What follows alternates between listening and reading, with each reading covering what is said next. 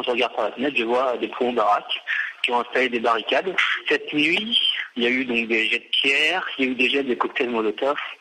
Euh, C'était assez, assez violent. J'ai vu peut-être une, vingtaine, une trentaine de personnes, ou bien avec des sacs à dos, ou bien en ressemblant à des occidentaux ou à des touristes, euh, se faire prendre à partie, se faire prendre le sac, fouiller le sac, et euh, les gens prenaient les objets qu'il y avait dans le sac. Certains disent que c'est des que, que beaucoup des pro sont des policiers et qui sont là pour euh, pour faire le chaos, pour créer le chaos.